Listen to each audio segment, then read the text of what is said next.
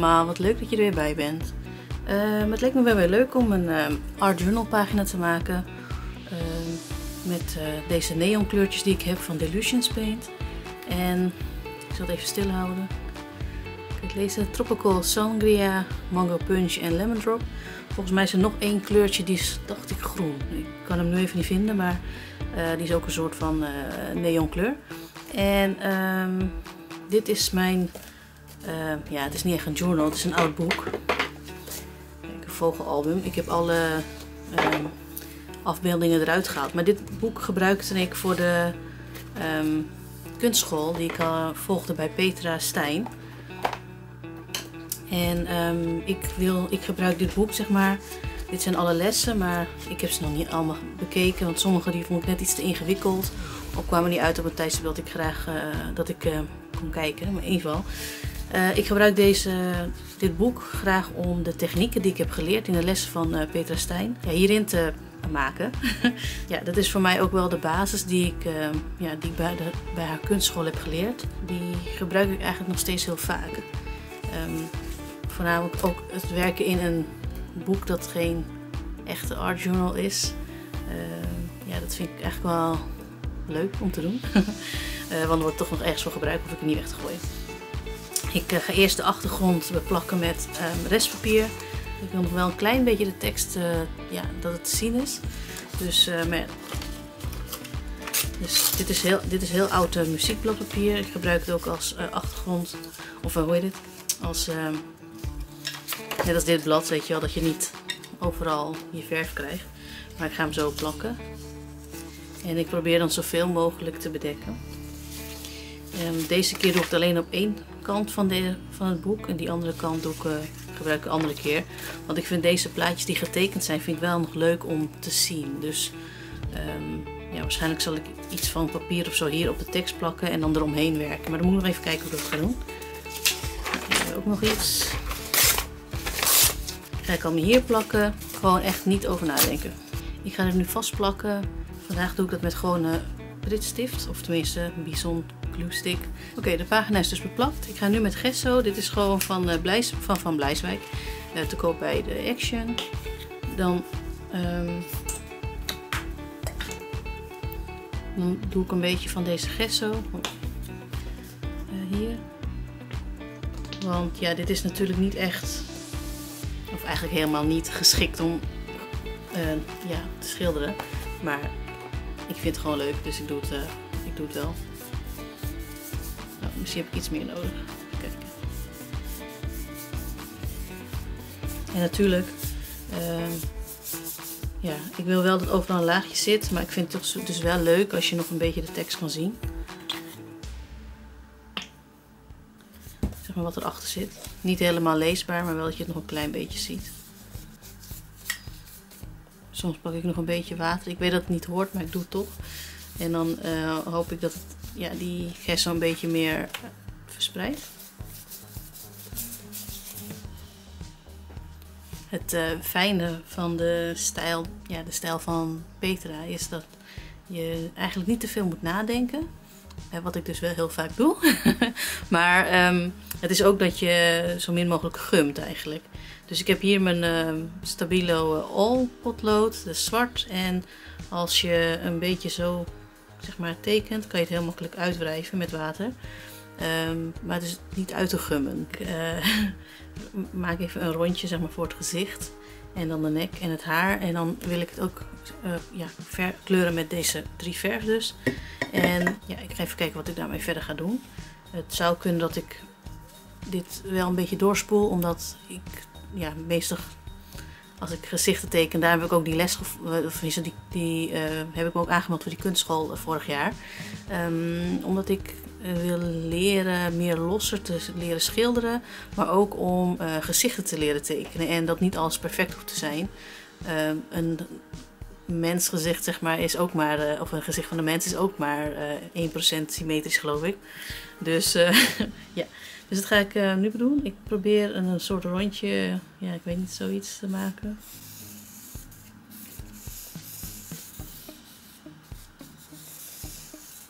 En dan de nek.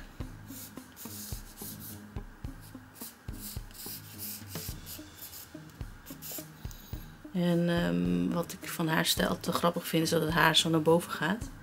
Dus ehm eh, dat doe ik even zo.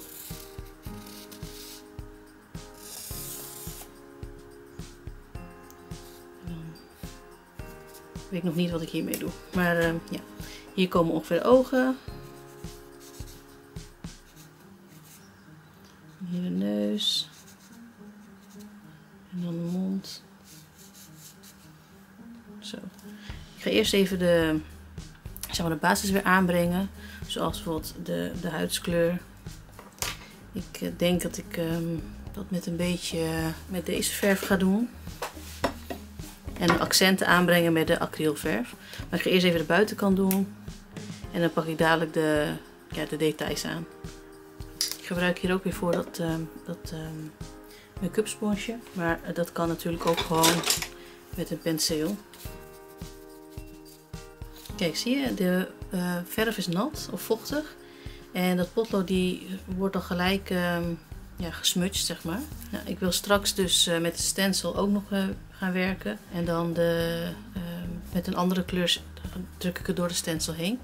Ik heb een aantal favoriete stencils, maar um, ik heb deze nog nooit gebruikt. Dus ik denk dit is ook wel leuk om een keer te doen. Het is nog niet helemaal droog, dus ik wacht even tot het droog is. Het gezicht wil ik uh, dus met deze doen. Dus die zet ik even hier op het bordje. Dat ik wit ook graag gebruik. Ik heb hier een wit van ook weer van Van Blijswijk. Kijk hoor, het haar ga ik oranje doen.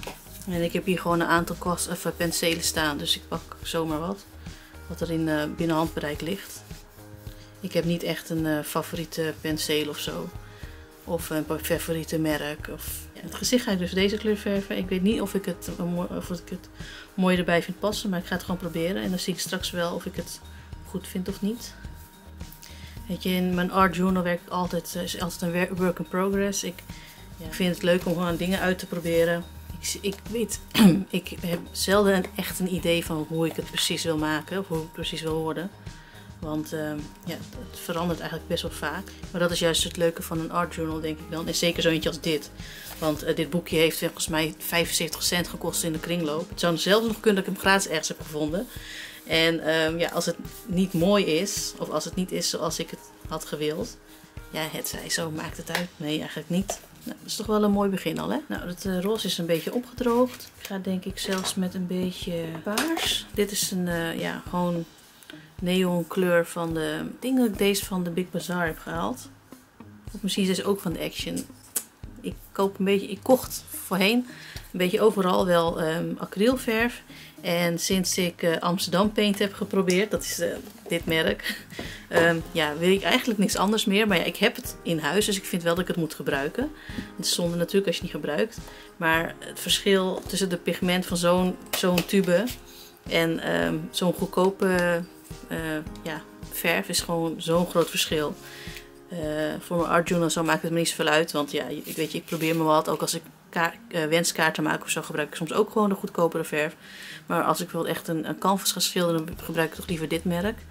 Um, dit is 1,80 of zo per tube. En hier, deze heb ik 1,80 voor vier van deze flesjes gekregen. Dus nou ja, dus uh, reken uit. Maar goed, niks slechts hoor over dit soort verf. Of um, uh, die van Delusions. Delusions is voor mij zelfs nog duurder, voor mij 3 euro of zoiets. Maar um, ja, ik, ik merk gewoon nu ik wat meer weet wat ik wil en uh, hoe ik met sommige materialen moet werken, ben ik gewoon echt wel ja, fan van dit. En dit wordt volgens mij zelfs nog gezien als een soort middenmootachtige merk. Um, in ieder geval, ik ga met het stencil ga ik dus die paarse verf doorheen halen. En zoals je ziet is deze neon verf best wel transparant. En dat vind ik op dit moment niet zo heel erg. Want dat past eigenlijk wel bij de rest van de, van de, uh, van de verf, van de neonkleuren. Dus ik vind het nu gewoon prima. Dat betekent dus wel dat je iets meer moet gebruiken. Hier is het misschien wat lastiger om het uh, aan te brengen.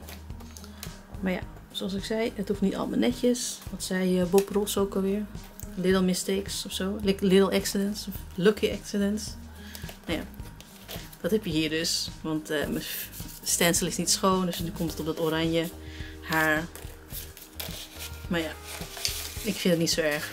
Toen ik net begon met uh, verven en het gebruik van acrylverf, vond ik het heel erg als, het, uh, als mijn werk zeg maar, eh, vies werd of als mijn, eh, mijn potjes vies waren. Dan moet je kijken hoe het er nu uitziet. Mijn handen vond ik ook niet fijn als het vies werd, maar ja. het eh, leven verandert wel eens. Dus perspectief verandert wel eens. Nu wil ik zeg maar het gezicht tekenen. Ik ga denk ik het haar stempelen, maar ik moet even kijken nog wat voor leuke stempels ik heb. waar ik dat mee kan doen. En nee, ogen zijn ongeveer hier, zei ik. volgens mij het zo. Dit spoel ik wel even door, want ja, ik ben soms een beetje besluiteloos en ik wil gewoon even ja, een beetje goed naar, naar kijken hoe ik dit wil. Ik ben wel altijd blij dat er zulke cursussen bestaan, dat je ja, kan leren hoe je eigenlijk je, hoe anderen hun, hoe anderen hun uh, ja, dingen doen. Het is juist leuk, denk ik, uh, vind ik dan, om van elkaar te leren. Mijn uh, ogen, die, als ik die tekenen, die waren ook altijd veel te dicht bij elkaar. En uh, ik heb nu het idee dat ze bij deze tekening iets te ver uit elkaar zijn. Maar zoals ik zei, ogen zijn, of, uh, gezichten zijn nooit symmetrisch. Dus ja, vind ik het heel erg. Ja, maar uh, ga ik er wat echt aan doen? Nee. Het is juist een leuk leerproces, vind ik. De mond tekenen vond ik ook altijd heel lastig. De neus trouwens, ik vind alles van een gezicht lastig om te tekenen. Maar ehm, nou, ik had geleerd van de kunstschool dat je een paar plekken op het gezicht, maar um, hoe noem je dat? Uh, moet highlighten. Dat is dan bijvoorbeeld het voorhoofd. Ik doe het even zo. Het blijft niet zo hoor. En uh, ik geloof, was, was het ook weer de neus, dacht ik, ja. En uh, hier de kin en hier in het um, boven je lip. En hier ook nog in de lip. Dus uh, wat ik uh, nu ga doen is, ik ga de, omdat ik hier paars heb gebruikt in het, in het achtergrond, ga ik dat ook doen met haar haar. Um, zo, met haar lippen. Ik heb wel even een ander penseel, want ik heb deze een keertje geknipt en hij is, ja, het scheelde niet zo lekker. Dus dan maak ik, uh, doe ik dit. En um, ook nog haar ogen wit maken, zeg maar het wit van je oog. Soms doe ik dat trouwens gewoon met een paintpen, maar ik, het oog is best groot. Dus ik ga het nu gewoon proberen met uh, acrylverf. Ziet er een beetje gek uit, hè? um, even kijken. Ik denk dat ik de ogen een soort van... Um, ja, dit, is, dit is misschien een beetje duivels. Even kijken, uh, iets van groen of zo. Misschien moet ik toch die groene neon pakken. Nee, ik heb gekozen voor een heel totaal andere kleur en dat is uh, bruin. Dus ik ga deze bruine kleur gebruiken voor de ogen. En dan met een beetje van de verf probeer ik het gezicht wat meer um, ja, diepte te geven. En dan meng ik eigenlijk die bruin en lichtbruin met het gezicht. Maar ik doe eerst het bruine hier in het oog. Ik weet het ziet er nu heel raar uit. Het komt goed. Het komt echt goed. En dan uh, ga ik het gezicht nog even verder maken met die uh, licht, uh, zeg maar die beige, de huidskleur. Hoe heet het eigenlijk? Peach en de, de donkerbruin. Klein beetje bruin in de rand. Ik ben niet goed in contouren, maar ik, het mag wel een beetje niet kloppen, vind ik. Als je het te, te donker vindt, doe je gewoon een beetje meer van de lichte. Zodat ze wat meer tot leven komt. Volgens mij was het ook dat je een beetje donker hier onder het oog moest doen. En ik moet dit wit een beetje wegwerken. Lijkt het er ergens op? Ik moet even vanaf de bovenkant kijken. Oké, ik ben niet helemaal blij met de huidskleur. Maar um, ja, die schaduw en zo, die kloppen gewoon niet. En um, ga ik me er heel erg aan storen? Waarschijnlijk wel. Maar ik vind, ja, weet je... Het is niet, het is niet super goed papier natuurlijk waar ik op werk. En um, ik heb juist besloten om in dit boek uh, ja, het, het uh, los te laten dat ik het helemaal perfect wil. Ik vind het wel mooi op zich, maar ik weet niet of je het kan zien op video, maar je ziet het echt, zie je wel echt die strepen en zo. Maar ik vind het wel leuk om, zeg maar, hoe vaker je, hoe vaker ik dit soort gezichten schilder eigenlijk, ja, hoe meer uh, ik zelf zie dat ik toch wel groei in het hele proces. En dat vind ik ook heel belangrijk. Oh ja, ik, wat ik ook had geleerd altijd was dat je zeg maar, alle kleuren een beetje weer terug moet laten komen. Dus die paars van de, haar, van de achtergrond en van die lippen. Ook een klein beetje in het oog. Dat zie je misschien niet op het eerste gezicht zo, maar het, ja, het zit er wel. Pak ik nog even dit, die um, stabiele ol en dan maak ik de lijnen nog weer even weer duidelijk. Zal ik er een wing geven, zo'n wing uh, eyeliner? Nee, dat is niet gelukt. Ik doe gewoon normale eyeliner. De wenkbrauwen. Ik ben nu gewoon uh, details aan het aanbrengen met die stabiele olpotlood. En een vochtige penseel, zodat het um, ja, de zwarte lijnen een beetje smutsje of uh, ik weet niet hoe je het noemt. en met een beetje paarse verf en bruine verf ga ik nog weer de, um, de ogen aanzetten. Ik heb een aantal uh, favoriete stencils en um, die ik veel gebruik. En dit zijn stencils die ik niet zo heel vaak gebruik zoals je ziet. Heel mooi schoon. Uh, deze wil ik gebruiken op het haar. Ik ga die witte acrylverf er doorheen halen. En het is misschien handig als ik het zo doe. Ik ga dit even drogen. Dan haal ik deze ook er doorheen. Op de plekken waar die witte stipjes niet zitten. Een beetje lastig te zien, maar het stencil iets steviger aandrukken denk ik. Want die witte verf ja, gaat helemaal onder het stencil door. Dat is niet zo mooi. En uh, om dit weer een beetje bij te werken ga ik gewoon weer met die uh, uh, paarse verf zo op. Wat ik nou zo. Ja, wat ik ook nog moet doen is die pupil tekenen, zeg maar. Oh, voor mij doet deze stift het niet. En dat is, nou eigenlijk het pupil is al getekend, maar ik moet een, zeg maar zo'n glansdingetje zo in het oog doen.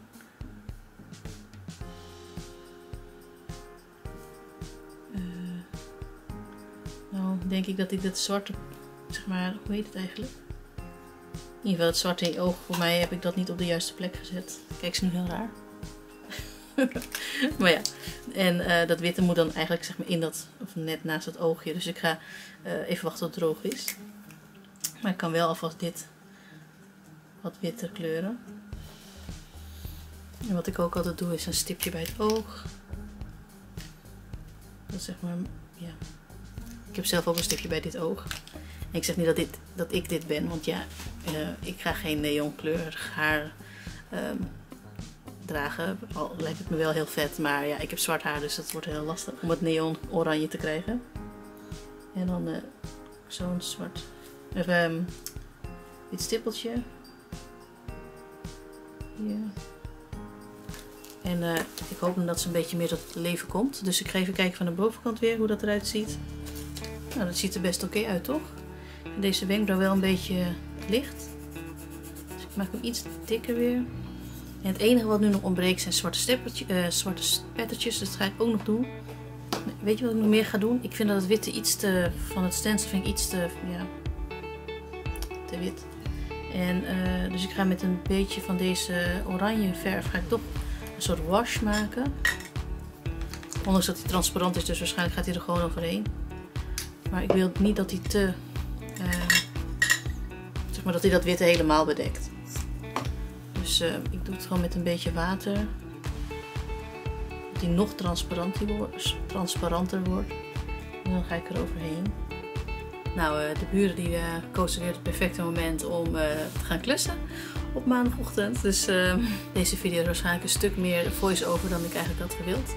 maar goed, ik heb um, een beetje buiten beeld. De,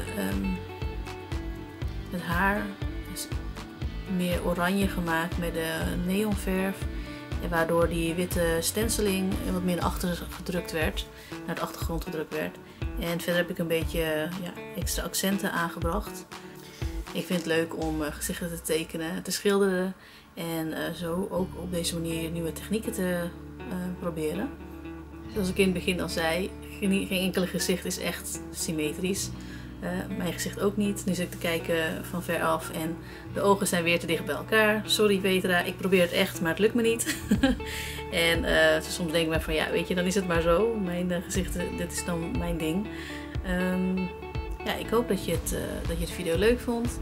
En bedankt voor het kijken. En ik wens je een hele fijne dag vandaag. En tot de volgende keer. Dag!